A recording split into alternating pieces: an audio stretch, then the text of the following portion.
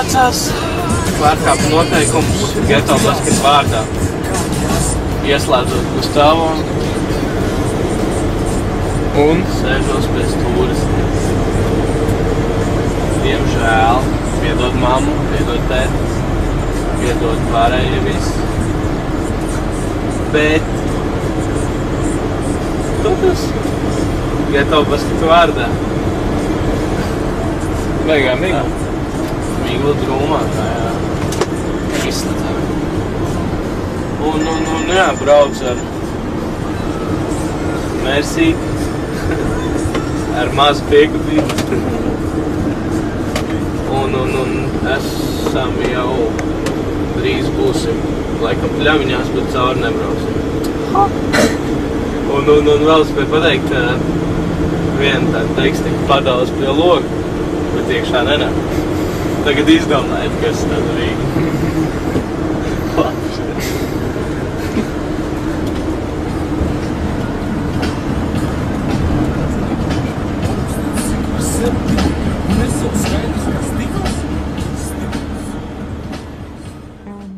Pirmkārt, no pirmās dienas teikšu tā, ka beidzot pagājušā gada ziemas sezonu, varētu teikt, ka laiks bija principā pusotrs mēnesis, lai sagatavotos vasarai. Es konkrēti zināju, ka ļoti gribās realizēt eh, tādu ieceru kā 60 pasākumu 90 dienās. Valmierā seši par Valmieru un, un Jūrmalu šobrīd tās tā kā vēl nav skaidrs, tas galva viss.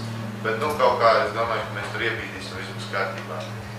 Sarkanie lauciņi, lauciņi, kad mums ir pasākumi. Nu, tās bija laikam kaut kāds manas, nezinu, tur ambīcijas, varbūt arī cīņa ar konkurentiem savā ziņā. Tāpat laikā pats primārais mērķis, protams, bija satikt un uzrunāt tieši tos jauniešus, kurus mēs arī uzrunājām reģionos, kur nāca spēlēja, kur parādīja tur gan labu cīņas par, gan vispārējo. Un, ja iet runa vairāk par komandas vākšanu, kā mēs paši, teiksim, savācāmies kopā, tad uh, lielākoties tie bija cilvēki, kas sev bija parādījuši kā neatlaidīgus, spējīgus un, un, un, un visādi citādi foršus cilvēkus.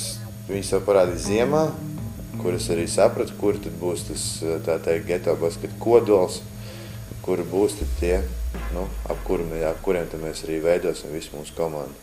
Tātad, labdien, Raimons Elbakens, jā. Māc attaisīt savilcēju. Pats iemācījos to pie savu tēvu darbā, mehāniķi man iemācīja. Tātad šādi tas ir tips savilcēji, ir domāt priekš tā, lai nenokrist. Nu, ja kādas lietiņas ar tādiem savāk, gan dēļus, gan savāk sporta mašīnas, gan savāk arī grozus. Tāpēc mēs ņemam tātad akurāti ar vienu roku, jā, akurāti ar vienu roku pieķeramies, ar īkšķi turamies pie dzeltenās ručkas, ar diviem pirkstiem pavēlkam, nolaižam līdz lejai un paspiežam. Tajā mirklī, kad mēs esam nospieduši uz leju, mēs vēlkam strīķi vaļā un savilcējs ir atnācis vaļā. Jūs atvienojat šķēdi nebes no tur un principā viss ir noticies. Paldies liels par uzmanību! Kad Geto basket viesojas Jelgavā, es satiku cilvēku vārdā Raimondu Elbakienu. Un pēc viena posma Jelgavā es palīdzēju. Vēl tad kā brīvprātīgais novākties, palīdzēt noskot grozus. Un es Raimondam saku, nu, varbūt kaut kā es ar savu pienesumu varu palīdzēt. Un mēs izrunājām, mēs iepazinām viens otru vairāk, ko es varu, ko es nevaru, ko viņš var piedāvāt, un tā arī šos ar īsti pēc Jāņiem viss sākās.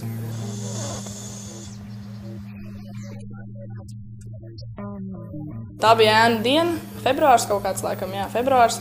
Mans brālis, brālis Emīls ēnoja Zupiņu Kriškam, kas arī ir kaut kāda daļa street basket vai getiņu cilvēks. Un viņš ēnoja tātad to krišu. Un tieši tajā dienā sanāca, ka ir street basket sapulce. Bija apspriestas kaut kādas cik man ir zināms, kaut kādas kā, televīzijas tēmas, ka kaut kādi apskati, ka kaut kas jau tā kā tiek darīts, tā kā nav, darīts. Nu, es īsti vēl joprojām nezinu, kā tur īsti ir. Bija toreiz. Un tad pēc tās dienas Semijās atnāca mājās Un tā kā man pastāstīja, tā, ka tāds spiegs, viss, kas tur īsti bijis. Ir. Tā, tā, tā. Un, un, un, un man uzreiz bija tāds klikšķis galvā, jo pirmie tas bija tajā juniors TV, tajā visā iesaistījusies un juniors TV bankrotēja. Un man tā kā vairs nebija kur kā sevi pilnveidot. Un, um, Nu, tad tā iespēja radās uzreiz man idejas, uzreiz, ka vajadzētu tos apskatus. Es jau uzreiz kandidēju savu galvā par to, ka vajadzētu pa vadītāju uzreiz. Jau, nu, tas tāds, tāds klusā tāda ideja. Bet, nu, un, tā kā izrunājām ar brāli, un viņš tā kā paziņoja visu to Raimondam. Gaidīju to Raimondu vēstuli tajā pašā vakarā, jo nu, caur draugiem tika viss izziņots par to ideju. Un viņš, jā, un viņš atbildēja, ka jā, daram, ļoti labu ideju, daram. Gaitā basketā nokļuvu, ra- uzrakstīju Raimondam draugos, gribēju palīdzēt bērnam izdalīt ielūgumus, lai viņi varētu kaut ko jaunu ieraudzīt, kas ir gaitā baskets un vispār kā notiek streetballs. Jā, viņš man uzaicināja aiziet uz Avantisu, uz sapulci, kas, nu- kas bija tieši par gaitā basketu Winter Edition, kas notika pagājušajā gadā, ziemā. Um, jā, un tad, tad, tad ar katru pasākumu aizvien vairāk un vairāk iesaistījos tajā. Gan, uh, gan reklāma, reklamēšanā, gan tam visā tehniskajā darbā. un Tā tālāk. Manuprāt, viss sākās ar, ar Avantis, jā, kad uh, mana krustā draudzene Ilza Ieviņa uzaicināja man uz palīdzēt. Uh, tas bija konversas sketi, tā kā, nu, kā palīdzēja, kā tehniskais, piepalīdzēts un tā, un tad, tad jau pēc kāda laika tas projekts Street Basket Extreme, tad man uz to uzaicināja. Tad jau pamazām kaut kā tas Street Basket Extreme pārtapa geto basketu, un tā jau pamazām es tur visur iesaistījos iekšā. Uh, Raimonds, nu, kā man brālēns, uh, kaut ko tur mēs kaut kur satikāmies, kaut kur, vai arī vienkārši kaut kur sazinājāmies, satikāmies. un Viņš teica, tur, ka viņš esmu taisot tur turnīrus un tā tālāk, basketbolu, tur streetbolu. Viņš teica, nu jā, ļoti interesanti. Tā viņš piedāvāja, ka negrib uh, kaut ko padarboties, padarīt, paskatīties, kā, kā, kā viņi to visu dara. Un, un, un, vai nav ko varbūt interesēs, varbūt tā neinteresē. Nu. Es Geto basketā nokļuvu pagājušā gada ziemas periodā, principā. Ir tā, ka es iepriekš strādāju jauniešu organizācijā Avantis, vēl joprojām strādāju. Un, uh, tur arī tā bija tā vieta, kur es arī satiku Raimondu un uzzināju par geto basketu un par street basketu. Un, uh, pirmie projekti mums bija Street Basket Extreme, kas bija Grīziņkāna skateparkā, un ar to arī visi balīti sākās. Ir 13. maija, Raimonda Elbekēna dzimšanas diena un, protams, geto basketa atklāšanas diena, kas nozīmē, ka tieši no šodienas katru ceturtdienu Grīziņkalnā notiks geto basketa pasākums. Okay, pirmā diena, 13. maija, sezonas atklāšana, mana dzimšanas diena. Ciemos bija atbraukuši arī viesi no Krievijas, kas organizē to pasākumus. Un, un, un, un tas arī tā, nu, tas bija tāds liels pārbaudījums. Un, kā, nu, sākt jau māja sākumā, parasti streetball sezona sākās jūnijā. Un, un, mēs tā kā noriskējām, sākot viņu jau tā teikt 3. maijā, vienkārši zinot, ka manā dzimšanas dienā vien, vienmēr spīd saule. Es tā kā ticēju tam, ka, kad ir jābūt labam laikam, ir jābūt labam garstāvoklim. Un, uh, es domāju, ka viss izdevās. Atklājām sezonu. Ja nemaldos, ka 93 komandas. Un, tāpat arī mūsu tātad, ciemiņi no Krievijas ieraugot šo formātu. Nekavējoties tā kā, nu, pieņēma viņu un arī, arī sāka veidot šāds pašs turnīrs Maskavā. Pirmajā brīdī man likās, ka uh, nu jā, tas ir Raimonds. Raimonds ar, ar lielu tā kā gribēja. Na, nu, viņš nav tāds, nu, kuram pietiks ar ma mazumu. Nu, viņš pateica to, ka sēž un pasākumu. Nu, skaidrs. Tas jau vairāk smaržo pēc Raimonda un, un, un, nu, un ar viņu darbspējām un, un, un tā tālāk man likās, ka jā, ka tas ir iespējams. Sākumā, protams, bija nedaudz tā, nu, kā 9 dienās. Tas nozīmē, ka nu, tu reizi, tad, uh, vienu reizi trijās dienās pasākums nevar būt. Nu, nu, tā nedaudz sākt tajā visā iebraukt, iedziļināties un, un, un, un, un tā tas izdevās mums. Es, jā, es vienmēr ticu. es vienmēr ticu, un uh, arī šajā reizē ticēju līdz pašām beigām, ka mums izdosies. Un pusmīnus mēs to arī izdarījām. Es domāju, ka tas bija reāli, ņemot vērā Raimonda apņēmību. Bet, protams, es arī padomāju par to, ka viņš drausmīgi noskriesīs par šo laiku. Bet tas, ka tas ir reāli vai nē, zinot Raimondu, tas ir reāli. Nu, uz piltāk atceros pašu sākumu. Bija liels kārstums, vasara bija. Bija jādodas, manuprāt, tūrē. Tūra bija Jūrmala Ventspils. Es kādu labu laiku ar sporta aktivitāti nebiju nodarbojies. Tā bija pacelāt uz smagos grozus un uh, atsvars, kas nav no tiem vieglākajiem. Un tā, tā bija pats sākumā smagākā, nu pieredze, bet uz, tas mans palicis ļoti atmiņā, ka es tur elzdams, pūzdams cilāju tos visus smagumus un sapratu, ka nekāds cukurs nebūs. Visu dienu uz kājām, karsta saule, svēlme, viss, nu, viss tas kopā sākumā bija diezgan smagi. Es vien- vienkārši neesmu tāds brīdis, šodien bijis, ka es neesmu svīts. Nu nav. Nu, nav nav tāda brīža vēl līdz šim. Es domāju, vakar varbūt vēsāks. Vislielākā jautrība arī mūsu geto family bija kompānijā braukšana tūrē, zinot to, ka bija jāspiežas kā sīķē mucā busā, jo eh, mēs bijām pietiekami daudz cilvēku, kas brauca tūrē un notika, no šitā gulēšana notika teltī. Un te nāca tas 13. maijs. Un, uh, es zināju, ka tā vasara tas būs kaut kas spilgtāks nekā tajā ziemā viss bijis. Un es baigā nepacietību gaidīju to. Un jā, sākās tas, tas 13. maija, sākās vasara, sākās tūres. Tas bija Tā skaitīšana, pasaules kā gāja skaitīšanā. Tur, tur, tur, tur, tur, tur bija, tur bija uzbruk vienkārši daudz, daudz cilvēku. Viņi uzbruk. Un viņi sāk teikt savus viedokļus, savus, uh, mēs šitā nespēlējam, mēs šitā spēlējam, ir divi, divi punkti, tur ir trīs punkti. Tas bija traki. Un tad mēs tas skatījām, ā, tur kaut ko, kaut ko tur, tos viss. Ā, tur beigās sanāk, ka dažiem ir vienāds punktu skaits, tad jāsāk meklēt īsti, kuram kā tur, kur, kuram vairāk, Ir ko kuram mazāk. pačakarēties. Vismieklākais atgadījums no Pakistānas. Tātad smieklīgais atgadījums par palikšanu pa nakti teltī.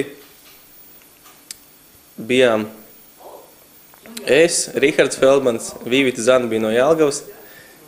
Gulējām teltī pašā Gulbens centrā pie Gulbens sportnām.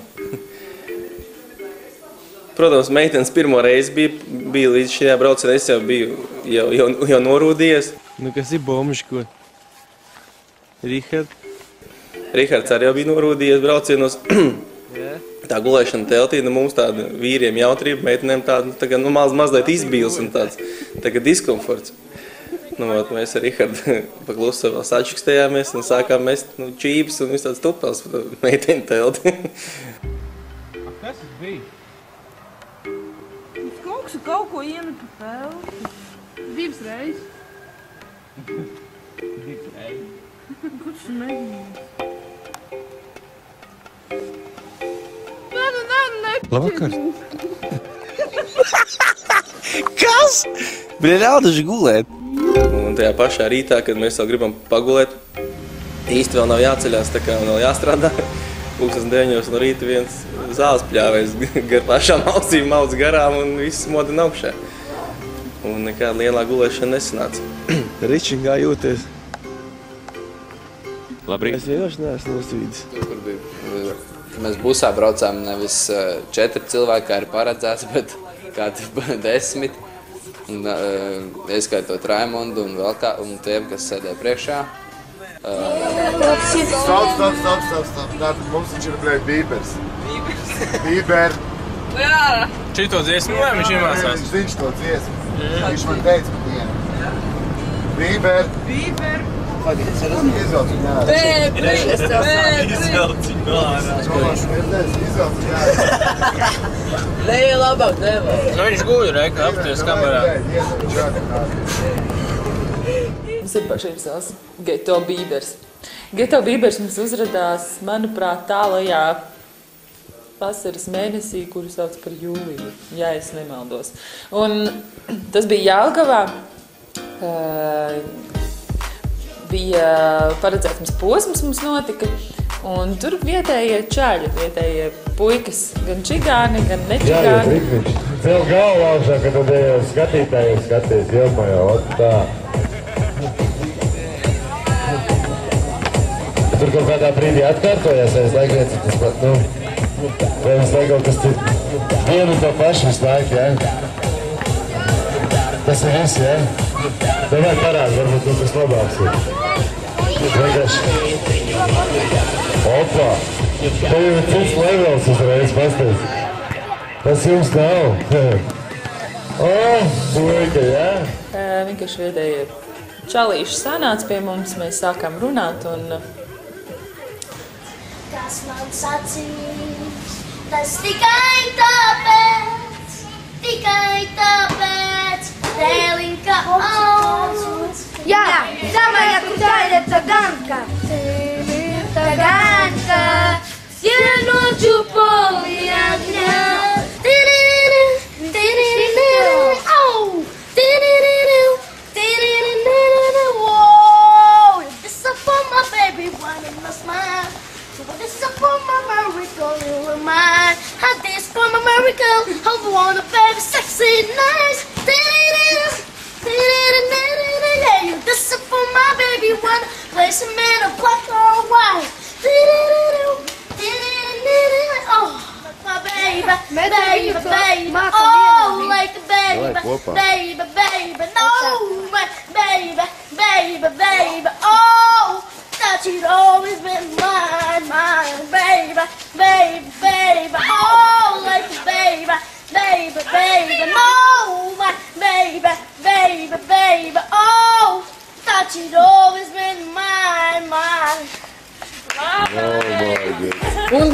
Kā jau latviešu tautai, kurai patīk dziedāt, sākām dziedāt dažādas dziesmas, un šis puika pateica, ka viņš kaut ko zina un kaut ko prot, un tā mums arī sākās. Un bija viņa pirmā dziesma. Nedzird, jā, un dzird tikai to, ko grib dzirdēt. Nu, pa, pabīdamies malā no turienes. Pabīdamies malā.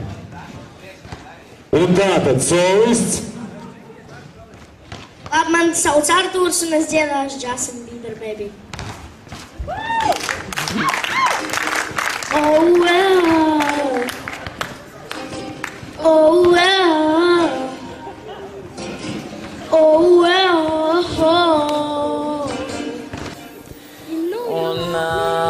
pēc tam nolēmām, Adam, vai uztaisīsim arī priekšnesumu turpat Jāgavā uz vietas, un tad uh, uzlikām viņu uz skatuves, iedavām mikrofonu, un, un uh, tā arī viss notika. Un pēc tam sapratām, ka publikai baigi patīk, un kāpēc neparādīt to arī tālāk.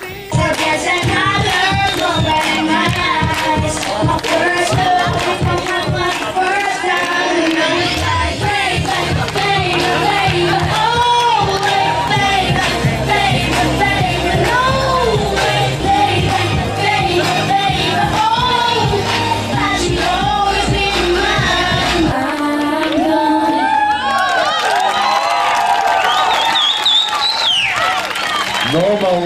nu nereāli, vienkārši ar divas. O, dā, apsties, redzēt, kāda. Vēl viena meitene neiet. ne? Divas, divas, tur ir divas. Iet, iet, iet, ejiet, lūdzu, turien. Patiesībā visu vasaru man bija kā viens liels ceļojums. Jo geto baskets priekš manis tas nav tikai, tas nav tikai darbs.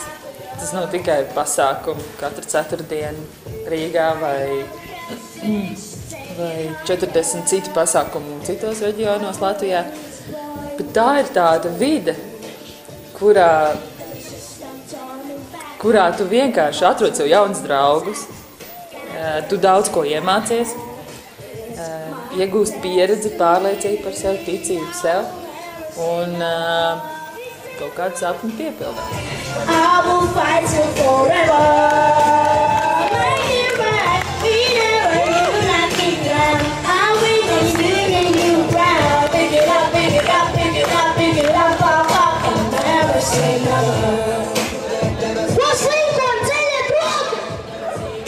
Daudz man draugu paziņas arī līdz šim uzskatīja, pirms viņiem vairāk pastāstīju, kā viss notiek. Tagad arī stāstu jums, ka nu, nemaz tik viegli tajā geto basketūrē neiet. ir arī savas, nu, tā kā tās nevis melnās, teikšu, tumšās puses. Bija reizēm arī tā, ka, nu, trešais pasākums pēc kārtas jau ir negulētas naktis, nostrādātas dienas, un tad bija kaut kādi mazi, mazi sīkumi, kad, nu, tāda tagad viens klikšķis, jā, un viss bija līdz pēdējiem, viss tā bija pārgruši, kad domāju, nu, nu čuķi, nu, tad izkausies, jā, nu, kurš mētājās uz zemes, teiksim, skrūgries, jā, nu, viens viņu nepaceļ, jā. Neviens nevar pacelt, bet, nu, visas viens otru bļau, kāpēc nepacelt skrūgries? Um, tas varēja būt tāds grūtākais, grūtākais bija, grūtākais bija uz pašām beigām, tad, kad tu nebija īsti gulējis daudz, visu laiku bija kaut kas jādara, jāstrādā un tā. Un tad vienkārši jau bija morāli un fiziski jau bija noguris un nekas īsti nepatika. Nu, ļoti bēdīgi bija tajā brīdī, kad uh, vienojoties ar Liepāju, kad uh, mēs tā kā varētu iedot šo te geto basketa formātu arī viņiem. Viņi varētu tā kā strādāt vienotā sistēmā, tāpat arī viņu turnīru uzvarētāji varētu braukt uz, uh, uz, uz, uz, uz superfinālu. Tie seši posmi bija paredzēti Liepājā. Aizbraucot uz pirmo, kur tieši tāpatās Liepājas doma finansējot savus vietējos pārstāvjus, organizēt šo pasākumu. Mēs braucām tīri no savas iniciatīvas ar domu parādīt, lai varētu perspektīvē viņi strādāt paši. Mēs varētu palīdzēt ar, ar, ar, ar informatīvo bāzi, mēs varētu palīdzēt vien ar komandām un tā tālāk, bet uh, ieraugot, kad uh, geto baskets, teiksim, nu, notiek zem dziesmas pastu un pastu un pietupies, es sapratu, ka uh, tas jau ir tā kā bišķiņ pat rāko. Desmit sekundes. Piecas, četras, trīs, divas, viena. Pabeigsies. It kā es esmu radījis savu bērnu, kuru viens ņem un, un, un sāk kropļot kaut kādā mērā. Ja? Nepavēlts, mēs geto baskets ir Krievijā, nepavēlts, mēs kundzu Igaunijā lietu. Jūs zinat labāk, es nezinu, ka jūs to darīt, tā kā jūs zinat. Es no savas puses pēc atradīšu grozu, palīdzēšu, iedošu informāciju mājaslapā, reku cilvēks atbrauc ar kameru, reku motociklis, uzbrauc filmēt, es to visu par naudu. Ar domu, bļēt, lai mēs kopā, kādos jūs paņemat naudu. Tāpēc arī bija šī konflikta situācija ar Liepāju, un es varu pateikt, ka kamēr šie paši cilvēki tur darbosies, ar garantiju Liepājā mēs noteikti neatgriezīsimies tuvākā laikā. Un uh, varbūt tas būs kāds, nezinu, kāds privāts pasūtījums no kāda varbūt uzņēmēja, varbūt nāks tālāk tur mani draugi no Liepājas vai vēl kāds, bet uh, strādāt ar tiem cilvēkiem noteikti mēs to nedarīsim. Brīžiem tas šausmīgais nogurums, kas uh, iekrājās no dienas pēc dienas, dienas pēc dienas, tu skrien, skrien, skrien, tehniskas problēmas. Rēmons bija kārtējo reizi normāli papīrs, lai viss būtu izlaists. Bet Rēmondam ir brālēns, DJs Varieņiks, kurš nevar atcerēties, ka jāuzliek ir atsvers virsū uz groza, lai viņš nenojātos un neslocītu stīpu un neslaustu konstrukciju. Tad ir jautājums, kur veidojās izmaksas dzīvē. Pirmkārt uz to, ka cilvēki ir debīli. Vai ne? Pareizi. Ja būtu kaut nedaudz tajās galviņās, tad droši vien, ka tik daudz izmaksas nebūtu. Ne pasaulē, ne strīt basketā. Tur kaut kāda ķīviņa komandā, kāds kaut ko nav sapratis, kāds kaut ko ir padomājis, kāds kaut ko ir pārpratis. Šī gadījumā tu esi vainīgs, tu esi atbildīgs par šīm lietām. Tu esi pieaudzis cilvēks. Ko tu filmē nu? To visu ir jācīnās, un ka tik intensīvā ritmā ar to visu jācīnās. Nē, tas nebija par savilcēju. Es nesaprotu. Jā, labi, nebija. Tā tad tev nav savilcēju. Tev nav savilcēju, jo tu viņus te prasīji. Ir savs, teici, jā, ir. Viss. Kad tu man to prasīji? Tātad lūdzu arī jūs ievērāt Kā kārtību. tagad jūrmalā? Jā. Neko nemetam šeit. Par sliktām vaļām. Mums nebija viens šovs. Vienīgais šovs mums bija no bomžikiem, kurus mēs izvilkām no viskas un iedevām viņiem krēklus. Kas te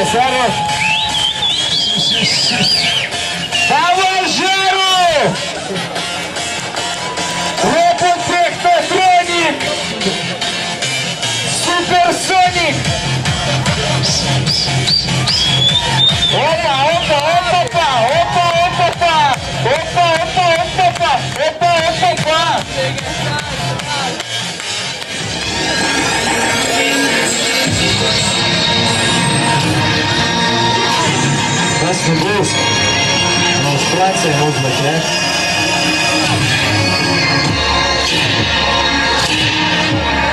Amatārs, ne? Tas ir bēdīgi. Mums vajadzētu ir divi varianti. Es pieļauju, ka Sānai varbūt nav tiešām laika, ka varbūt es... Nu, es esmu tā sarunājis jūs nākamajām divām reizēm. Tad uh, pienāk kāds brīdis, tas sēdi un nesaprot, kāpēc, priekš kam tā tālāk. Un, un, un tad es jau teicu pirms tam par to kritiku. Un tas viss tā komentē dar... nedeg. Iesprādīt. Liels nepatikšanas. Viņš arī nedegs. Vairāk pacietības. Viņš ir iesprāts. Pačakarē. Tas ir vīlīgi.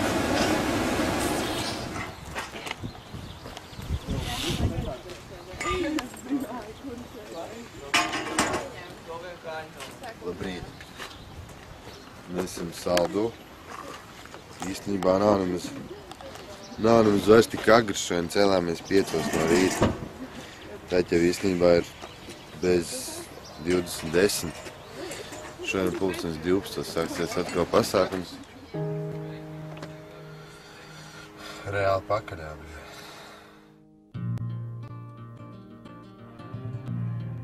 Jā, šovasar mums bija akcijas atbalsta geto bērnus. Un uh, atsaucība bija tāda, ka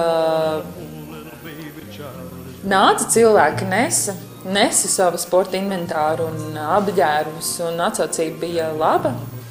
Uh, Noteikti es gribētu nākamajā gadā vēl vairāk pie tā piestrādāt un darboties, jo uh, ņemot vērā to, cik liela atsaucība bija reģionos, gan Jālgavā tīpaši, um, es sapratu to, ka nu, šī lieta ir tā, kas tiešām ir vajadzīga cilvēkiem. Un, un es ticu, ka šim projektam ir nākotne. Nākamgad atradīsim vēl dažādākus veidus, kā, kā cilvēks uzrunāt, un tiešām vairāk izstāstīt un pastāstīt to, kas tad ir tie geto bērni kāpēc viņiem jāpalīdz. Well,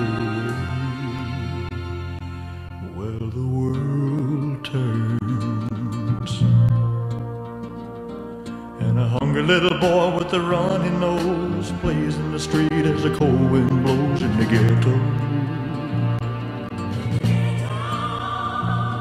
And his hunger burns. So he starts to roam the streets at night and he learns how to steal and he learns how to fight in the ghetto. Then one night in desperation, the young man breaks away. He buys a gun, steals a car, tries to run, but he don't get far, and his mama cries. As a crowd gathers round, an angry young man face down in the street with a gun in his hand the ghetto.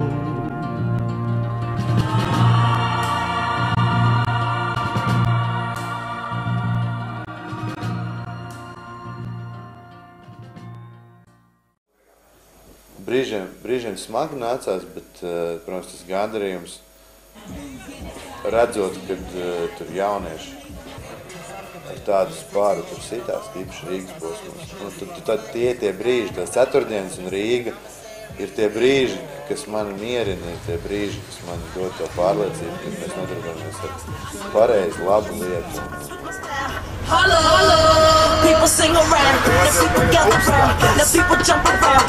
Get your freak on, get your freak on, get your freak on, get your freak on, get your freak on, get your freak on, get your get your get your freak on. Davai atklāt piespiedzi. Kā piekšā, ne, nu nebaidzies. Uz kurien brauc? Uz Būtnāriem. Uz kurien? Būtnāriem. Kur tādi ir? Pagaid vēlreiz. Urnāniem. Būtnāmiem? Jā. Būtnāmiem. Tu šeit dzīvo blakām? Ja, tur, tur ir. Tur? Mēs tiedasim geta basket flyers. Lai tu vari būtnārās, lai visiem iedot rīkuļi, kad visi plakāti. Kur jums aizmurē pusare? Jā. Jūs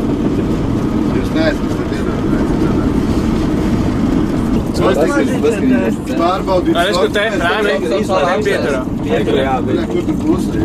Viņš teica, teica. Tu vienkārši skaļāk runā. Skaļāk runā, jo te es neredzētu. Iedod viņam uh, flyers, ja tev pasaka, lai viņš potāros izlīmē. Tev būs jāpielīmē afiši Jā. vien. Jā, davai, ātri, davai. Kurš aizies? Kurš tu? Lab, lab. Prezidents. Neko prezidents. Ir? Ciet. Ir? Tagad vaļā. Vašā. Teis, jā.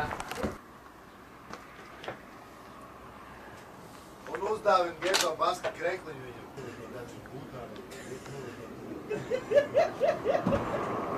Reku šitos te uzliec kaut kur. te. Reku krēkls tev. Redzu? Ja godīgi, laikam likās, ka tas ir nereāli. Jo nedēļā ejot, pienāca jūnijas, jūnija vidus, Jāņa jau jūlijas sākums, un mēs skaitījām tos pasākumus, cik viņi bijuši. un Pēc skaitļiem tur viss izskatījās ļoti bēdīgi, un tiešām liels pūles un darbs jau bija ieguldīts. Likās, ka vienkārši nepietiks spēka. Tas bija diezgan nogurs jau, jau pirmajā pusē vasarai, kaut kur uz Jāņiem. Es atceros, jā, es, es domāju, ka, ka, ka, kad ir kaut kas jāpamaina, kad kaut kas cits jāpadara vai vienkārši jāatpūšās no tā. Bet tā katra ceturtdiena man lika tomēr tur būt, piedalīties, visu darīt. Un kaut kā, kaut kā uz vasarai uz otru pusi ejot, jau tā bija tāda tā kā rutīna vairāk. Un, un principā, principā tas viss tā arī pārgāja. Uh, mans uzdevums bija sākot no spamošanas, beidzot ar reģistrāciju, zvaniem un būt medmāsai un būt Raimonda labai rokai. Un, jā, laikam vienkārši būt tam, kas nav ielīst tajās vietās, kas trūkst. Man jau liekas, ka sanāca normāli, bet es domāju, ka Raimondam būtu savs komentārs par to, kā man tas sanāca. Nu, nē, nē, nu es darīju, kā mācīju. Tad jau, kā saka, cenšos, tad sanāk normāli. Ah, un tad, kad nokrita zēns un acis gala, tad it kā es tajā dienā arī skaitījos menmās pēc idejas, tāpēc bija tāds, nu, Elizabet, kas jādara? Bet, nu, nē, es pirmo reizi arī mūžā saucu ātro palīdzību toreiz tā, bet, nu, vairāk vai mazāk jau viss skaidrs. Kā teikt, ūdeņraši pārskāp vienmēr izglābj, vai ne?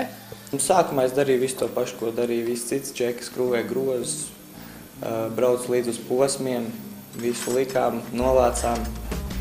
Uh, uz otru pusi vasarā jau, jau, jau parādījās jauni cilvēki, jauni interesanti, jauni brīvprātīgie, ja tā varētu teikt. Un tie pienākumi bija stipri, stipri mazāki, jo vienkārši kolektīvs bija lielāks. Vienu brīdi tur bija tā kā tehniskais direktors, nu, principā, jā, tehniskais darbinieks bija. Kā tāds. Tur skrūvēja grozus, liku sētiņus, sagatavoja visu, tā teikt, tāds saucamo redzamo daļu, kas bija vajadzīgs priekš gatavās. Ko nevar panākt ar naudu, to var panākt lielu naudu. Ko nevar panākt spēku, to var panākt lielu spēku. Nu, daudz ko iemācījos no tā visa, nenormāli daudz ko. Un, un, un. Šeit būs īsts ieskats, īsts pamācības. Kā tā esam līnija. Paņemam sma smalki malto krītu. Iebaram šitādā te ciņā. Klusīgi apmēram. Un lejam klāt ūdeni.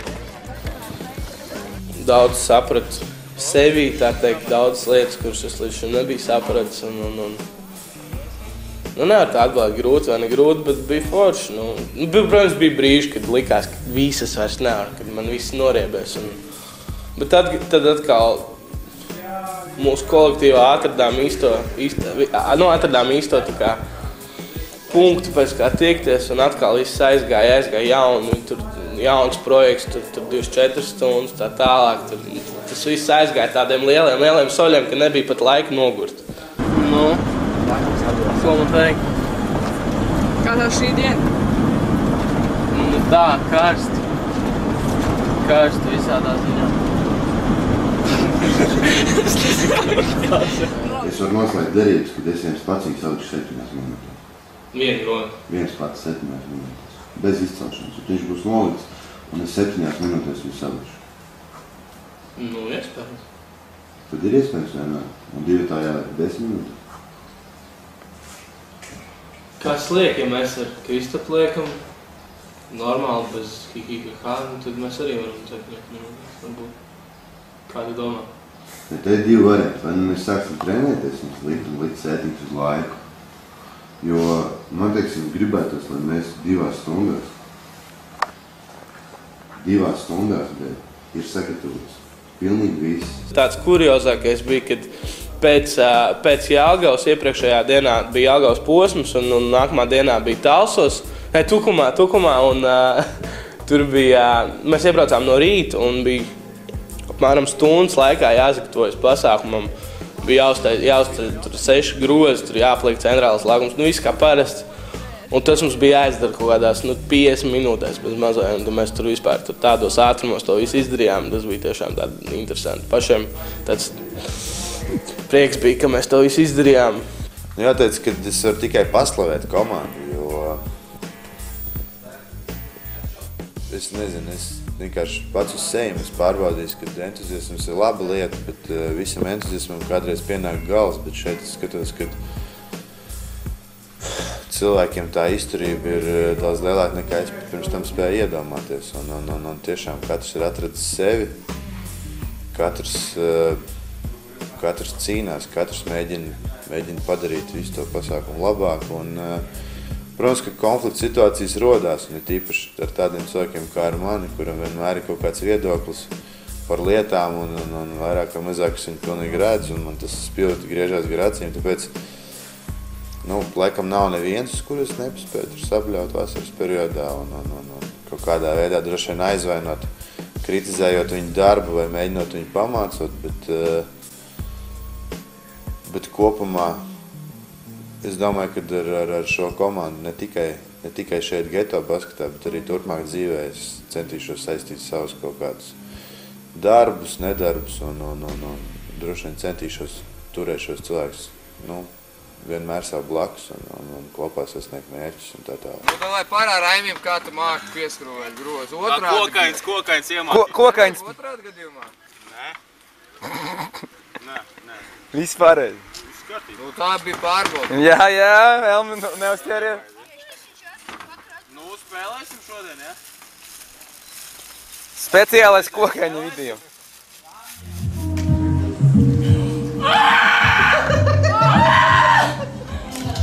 Es domāju, ka volejbola līdzjutējiem jāpāriet būs no aliņu uz kaut ko normālāk, jo citādāk jūs tādā lēnajā visu laiku, no? Man jūs jābaro ar ripām ir, tas arī variants, un jāliek visu laiku hausiņš. Nu, lai normāls tusiņš visu laiku griežās. Citādāk reāli lēni jums viss notiek. Aplaudējam jauniešiem, trešā vieta. Jūs pagriezties, pamājiet. Otā, ja labi plaudīsiet, nebērsim jums rips pēliņu klāt. Otā. Mans, eh, to, ko es laikam visu mūžu atcerēšos, ir tas, ka es lec, skrēju un lecu lecošā, braucošā uh, busā. Jā. Nebija iespējas apstāties, tāpēc man bija jālec. Lēc!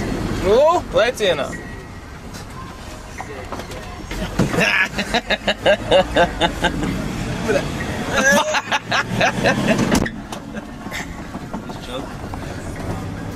Atcerējos, jā, vienu beigas smieklīgo gadījumu, kas tiešām bija viens no, man liekas, tur komiskākiem, kas tas, tas gan bija jau vasaras, jau tajā pirmajā posmā mēs braucām, ā, braucām no tur Jālgavas kaut kur, atkal uz kaut kurien no Jūrmāls, laikam braucām uz Ventspilu, bijām paņēmuši geto bīberu līdz mūsējo superstāru un, un, un Džalīts, nu, pirmo reizi kaut kur, man liekas, tik daudz pilsētas bija redzējis, un kaut kur braucam, braucam, kaut ko darbojamies, ņemamies. Braucam jau apakaļ ceļā visu dienu, karsts, saule, tur pavadīts tiešām aktīvi, un viņš arī tur mums kaut ko palīdzēja. Tur nesēja kaut ko, atkritumus vāc, kaut ko, nu tādu tīri palīdzēja. Un arī puisis bija bijuši saguši tāds, nu tāds nebijām laikam tur bijuši peldēties pēc tā turnīra. Un, un jūt, ka kaut kas nu drums smirt, nu smirt tā, ka tu nevar izturēt. Un, pagriežos, skatos bīberam botas stāv, nu vienkārši, nu, smirt, es nezinu, tāda smaka, tāda kodīga, tāda. Neko paņēma tās botas un, un, un tiešām aiz, tā, aiz dūsmām vienkārši paņēma, izmet ārā pa logu. Čels palika bez, bez botām, nu vienkārši tā.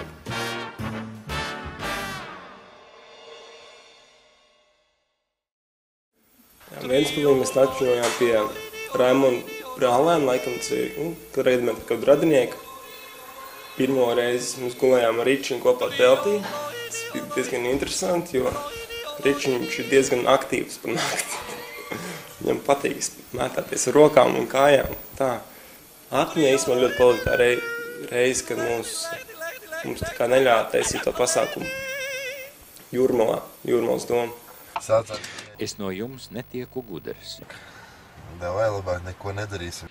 Nerotaļājos. Vēl viens otram birokrātijā. Jūs pats saprotat no cilvēcības viedokļa, nostājieties manā pusē un vienkārši nu, iedzināties teiksim, lietā no otras puses, kad uh, ir kaut kāda nu, nosacīta birokrātija, ar kuru ir jāstrādā. Jūs kā, kā teiksim, cilvēks, kurš nu, nu, saņem naudu no nodokļu maksātāja naudas, es domāju, ka varētu palīdzēt.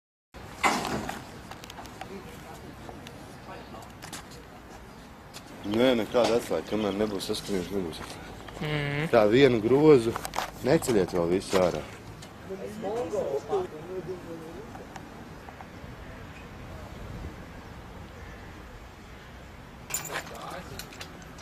Dai, visi aplaudējam tagad.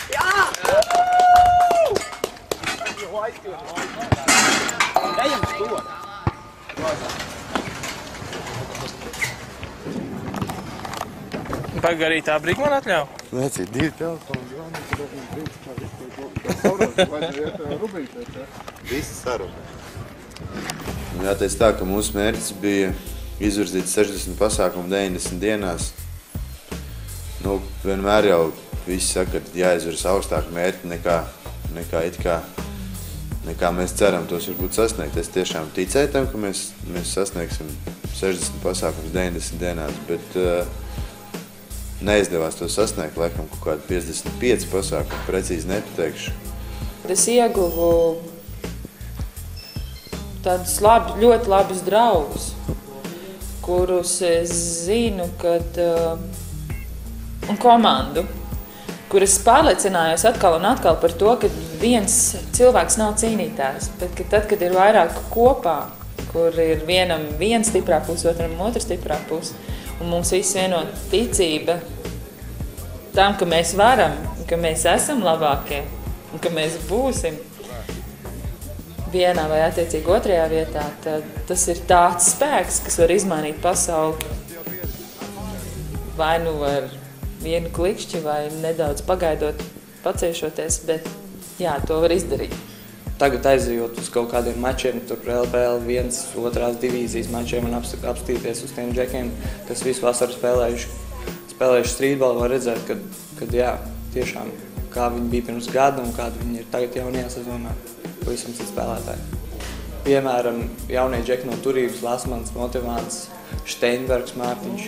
Uh, ja kāds man pirms pusgada gada būtu teicis, ka Motivants var pret Ventspilu vienalga kā iemest 15 punktus vienalga kādā spēles gaitā, es būtu vienkārši sirsnīgs mējies.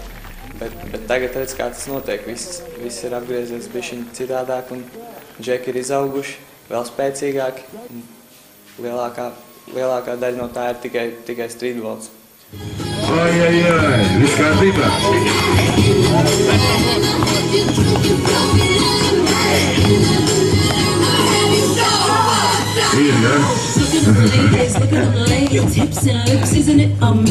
Daudz ko es īstenībā iemācījos. Kontakts dažādas ieguvu. Visu laiku darbojoties geto basketā, jau kaut ko iemācies. Pats gribot, negribot, apgūst kaut kādas lietas un pašam neapzinoties. Kas mani tā kā ļoti visā šajā, projektā, jeb arī vasarā aizķēra, tas, ka Raimons deva to iespēju un dod iespēju tiem jaunajiem. Jo parasti ir tā, pajautā, cik tev ir gadi, ā, nu skaidrs, un tad tu esi tā kā jau norakstīts.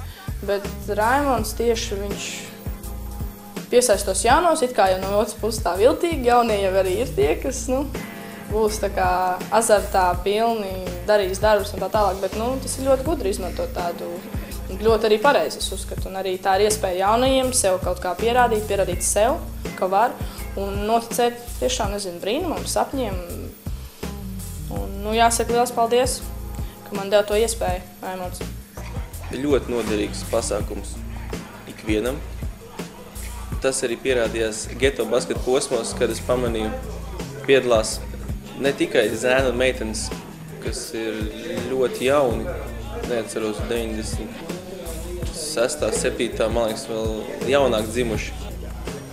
Un bija arī veči, kuri, man liekas, bija pāri pa 40, šādi tas bija pamanījis vecam.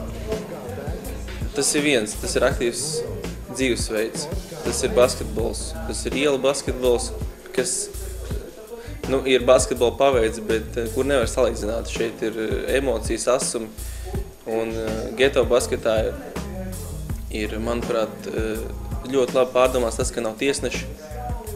Tas liek basketbols tam katram, teiksim, nu, saprast to, ka kur ir tā robeža, ka teiksim, pie noteikuma pārkāpuma viņš uzdrošināsies pateikt otrai komandai, ka ir, nav, vai nu, sos bijis vai nav.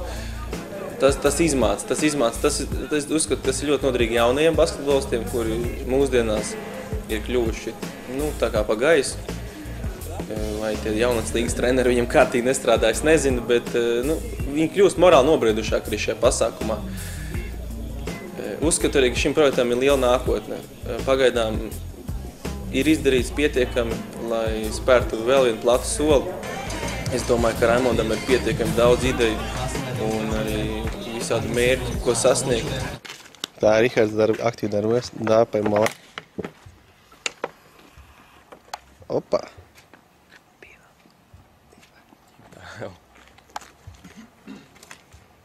Taisno muguriņu, bulciņas grozās. Labi, pava liederīgi pavadīju laiku vasarā. Nepazājos apkārt. Radīju citiem iespēju uzspēlēt, pavadīt savu laiku, liederīgi, sportojot veselīgi. Es iegūtu droši vien vairāk kaut kādas emocijas un pieredzi un kaut kādu izturību sev. Es uztaisīju sev augstāku latiņu tam, cik daudz es varu izturēt. Ja, pagājuši, ja piemēram, agrāk man likās, nē, to es vienkārši nevaru izdarīt, tad tagad es sapratu, ka nav nekāda robeža, nav jābaidās no lietām un ir jābūt stiprai. Un tad, kad Raimunds uzkliet virsū, tad vienkārši jābūt stiprai, nedrīkst straudāt un jādara tālāk. Tā kā man liekas, es kļuvu stiprāks kā cilvēks mazliet. Tas tāds koks ar diviem galiem. Tu vari arī iegūt tādas īpašības vai kaut kādas manieres, ko tu it kā nedrīkst pielietot lielajā basketbolā, un tas tev var pat traucēt. Bet kaut kad nesen vēl dzirdēju no Raimonda, ka Mārtiņš Krašenko šobrīd spēlē Liepājā. Pirms pagājušās vasaras, pēc pagājušās vasaras bija pateicies, pateicies Raimondam par to, ka ir tāds pasākums kā geto basket, jo tik daudz orgāns, kā viņš tajā sezonā bija uztaisījis, viņš nebija uztaisījis visā savā dzīvē. Nu, tas tāds viens labs piemērs, ja jau basketbolists pats to atzīst, tad, tad noteikti tā arī ir. Man liekas, ka, um, man liekas, ka šis, šis 60 pasākumu 90 dienās, visiem bija baigta labā mācība. Un vispār tāds ļoti labs eksperiments, kā darīt nākamajos gados. Jo ir skaidrs tas, ka eh, krieviem tāds labs teiciens nav jau bazarakņi paspiež. Tas ir tas, no, tas, tas svarīgākais, kad eh, tagad izskrēja, apskatīja, kā ir. Nu, un tagad vienkārši, man liekas, ir jāsāk bliest tā bišķiņa strateģiskāk nu, tas, man liekas, atņem ļoti daudz gan laika, gan enerģijas, gan Raimondam, gan arī komandai. Bet, nu, man tiešām liels prieks par viņu paveikto, jo es domāju, ka, nu, reti kurš varētu, lai kāds entuziasms viņu bīdītu, izdarīt kaut ko tam. Nu, nākamie mūsu mērķi ir, ir, ir, ir organizēt pasākums Eiropā, organizēt sadarbībā ar dažādu citu valstu pārstāvjiem. Un galvenā geto basketa ideja nākotnē ir nevis komercija, bet pirmkārt cilvēciskums, pirmkārt centīsimies atrast iespēju, kā mēs varam padarīt turnīru bezmaksas, centīsimies piesaistīt daudz jaunus spēlētājus un centīsimies tieši, lai basketbolu un arī tāpat iela vingrošana, dejas, viss, kas sevi ietver geto, jā, tātad pēc iespējas vairāk piesaistīt tos jauniešus, kurš šodien varbūt nevar atrast sevi īsto vietu. Kā, nu, tāda ir mūsu nākotnes mērķi, un es ceru, ka mēs viņus sasniegsim un sasniegsim viņus globālā līmenī. Divi pret divi, tas, tas ir vairāk tā kā, tā kā jaunums vispār iela basketbolā, vismaz Latvijā noteikti, jo es neatceros ne piecus, ne desmit gadus atpakaļ, kad tāds formāts kā divi pret divi vispār būtu kādreiz bijis. Pats piedalījos, ļoti patika. Um, bišķiņ, bišķiņ citādāks nianses ir divi pret divi spēlējot. Nevarētu teikt, ka interesantāks vai mazāk interesants, bet vienkārši citādāks. Katrā ziņā, katrā ziņā liels prieks, ka, liels prieks, ka tāda ideja tika radīta un arī īstenot. Nu, mans mērķis pirmkārt ar šiem pasākumiem ir aicināt jauniešus noticēt sev, izvirzīt savus mērķus, sasniegt savus mērķus. Un vissvarīgākais, lai viņiem nekad netrūktu motivācija to darīt un lai viņi spētu paši sev motivēt visgrūtākajos brīžos. Un, tomēr, kas var būt labāks kā sportiskas aktivitātes, lai izaudzinātu savu raksturu, kas, es domāju, palīdzēs visā turpmākā dzīvē. Tāpēc izvirziet savus mērķus, ejiet uz viņiem, un es priecāšos par katru no jums.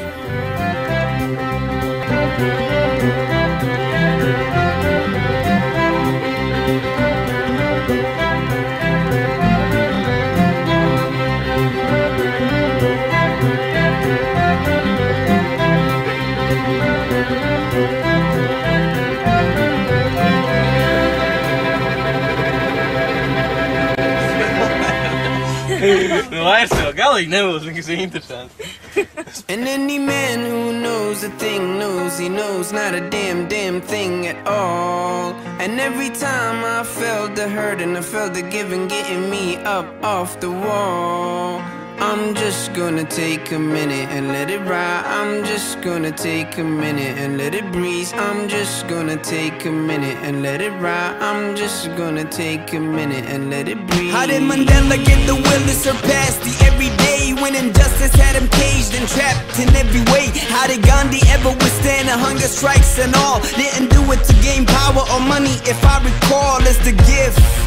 I guess I'll pass it on. Mother thinks it'll lift the stress of Babylon. Mother knows. My mother, she suffered blows. I don't know how we survived such violent episodes. I was so worried. It hurt to see you bleed. But as soon as you came out the hospital, you gave me sweets. Yeah.